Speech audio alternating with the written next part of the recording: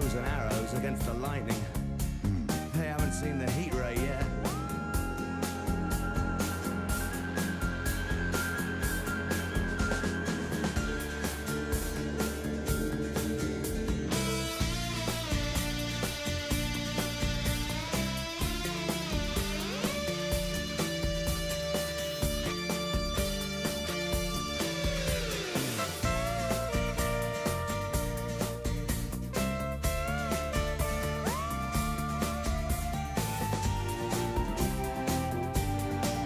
We hurried along the road to Weybridge.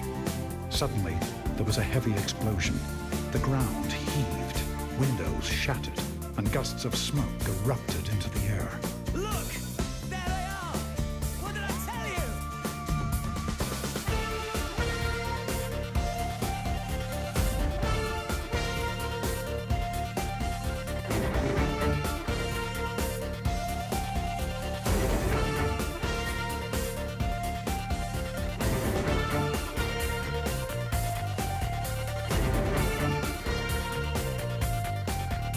Quickly, one after the other, four of the fighting machines appeared. Monstrous tripods, higher than the tallest steeple, striding over the pine trees and smashing them. Walking engines of glittering metal. Each carried a huge funnel, and I realized with horror that I'd seen this awful thing before.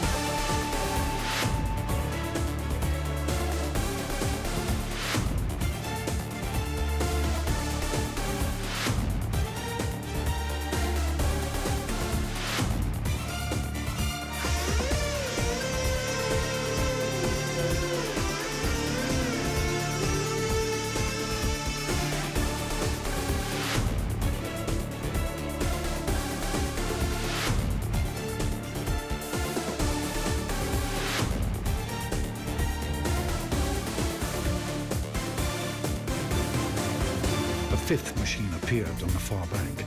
In an instant, it raised itself to full height, flourished the funnel high in the air, and the ghostly, terrible heat ray struck the town.